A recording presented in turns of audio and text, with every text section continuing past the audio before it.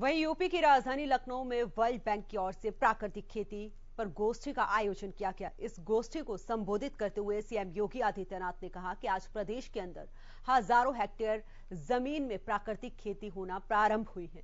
उन्होंने कहा कि पीएम मोदी भी विश्व मुक्त खेती को लेकर लगातार प्रयास कर रहे हैं और इसको लेकर केंद्र सरकार काम भी कर रही है। सीएम योगी ने कहा कि धरती माता की रक्षा करनी है तो प्राकृतिक खेती पर ज़ोर देना होगा।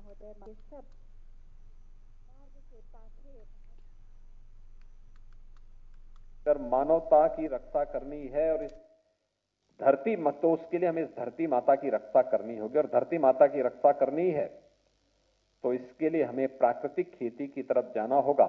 यही किसान के सतत और समान विकास का एक सबसे महत्वपूर्ण विकल्प वर्तमान में हम सबके सामने है।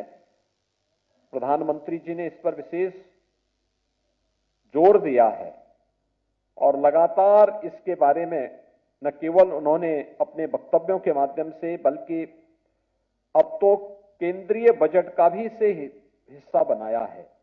इसलिए हम सब अगर इसके साथ जुड़ते हैं तो उसके बहुत अच्छे परिणाम सामने आएँगे।